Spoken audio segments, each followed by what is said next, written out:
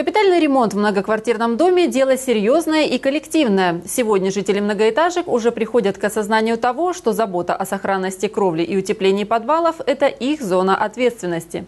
Толчком к пониманию стала работа властей, которая в 2008 году запустила механизм содействия развитию ЖКХ. Как он сработал в Славянском районе, что удалось сделать, смотрите в первом материале выпуска.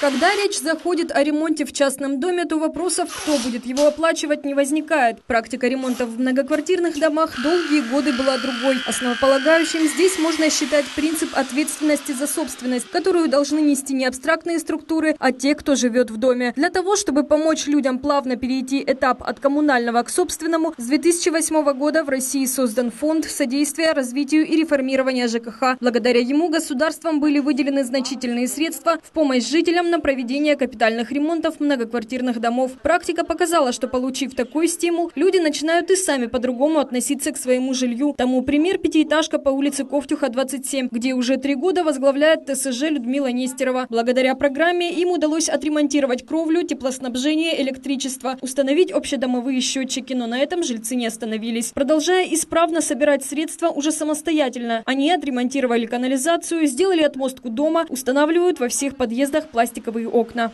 Вот сейчас на счете почти ничего, начнем собирать, будем потихонечку делать подъезды. Этот дом не видел подобных объемов работ с момента постройки в 1979 году. И если бы не толчок, который дала программа, возможно, ему пришлось бы еще долго стоять в разрушающемся состоянии живут еще, понимаете, вот старыми мерками. Начинаем объяснять, начинаем это самое работать. Каждому все. Кто-то понимает, кто-то принимает штыки. Но вот последнее время, вот сейчас, уже стали более-менее видеть, что здесь, конечно, плюс. В Славянском районе возможностью участвовать в программе воспользовались владельцы многоэтажек в Забойском, Прибрежном и Славянском городском поселениях. Порядка 200 миллионов рублей удалось привлечь для капремонта сотни домов. Обновлены крыши и подвалы, фасады, внутридомовые инженерные коммуникации, информации, приборы учета. Славянский район признан в крае одним из лидеров по реализации программы. С 2014 года работа фонда будет направлена в основном на решение масштабных проблем коммунального хозяйства, одна из которых – переселение людей из ветхого жилья. За время действия программы по переселению из аварийного жилья удалось решить жилищную проблему практически для 100 человек. На эти цели потрачено более 30 миллионов рублей. И в планах на ближайшие годы переселение еще трех аварийных домов. С этого года работа по ремонтам в многоквартирных домах переходит в новое русло. В крае уже создана некоммерческая организация «Региональный оператор», которая призвана помогать жителям собирать средства на капитальное обновление их жилья. Собственно говоря, сборы средств на эти нужды велись всегда, но только тратились они на косметический ремонт. А потому жители многоэтажек часто сетовали на нерешаемые проблемы в их домах. Теперь же появится новый вид платежа, который предусматривает накопление собственниками денег на будущие капитальные ремонты. Сбор средств могут осуществлять сами собственники помещений многоквартирных домов на специальном банковском счете, а могут положиться на регионального оператора. Основным плюсом второго пути является то, что здесь действует принцип кассы взаимопомощи. Если ремонт нужен в ближайшее время, а на счете средств еще недостаточно, региональный оператор дает их в рассрочку в счет будущих поступлений. Решить вопрос, как накапливать деньги, предстоит жителям всех без исключения многоквартирных домов. Они должны будут определить это на собрании жильцов. Если же собственники не смогли принять решение, то их дом по умолчанию должен будет накапливать средства на счете регионального оператора. Основной вопрос, который сейчас задают жители, когда новый механизм накопления средств начнет работать на полную мощность и что делать? Опасаться регионального оператора не надо.